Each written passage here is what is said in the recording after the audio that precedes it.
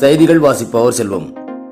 ஓசூர் சட்டமன்ற தொகுதிக்குட்பட்ட ஓசூர் ஒன்றியம் கொத்தகண்டப்பள்ளி ஊராட்சி பொம்மண்டப்பள்ளி ஊராட்சி ஒன்றிய நடுநிலைப்பள்ளிக்கு சட்டமன்ற உறுப்பினர் மேம்பாட்டு நிதியிலிருந்து இரண்டாயிரத்தி இருபத்தி ஒன்று இரண்டாயிரத்தி இருபத்தி ரெண்டு இதிலிருந்து சுமார் இருபத்தி மூன்று புள்ளி இருபத்தி மூன்று லட்சம் மதிப்பீட்டில் புதியதாக இரண்டு வகுப்பறை கட்டிடம் அமைப்பதற்கு மாவட்ட செயலாளர் ஓசூர் சட்டமன்ற உறுப்பினர் வைப்பிரகாஷ் எம்எல்ஏ பூமி பூஜை செய்து பணிகளை துவங்கி வைத்தார்.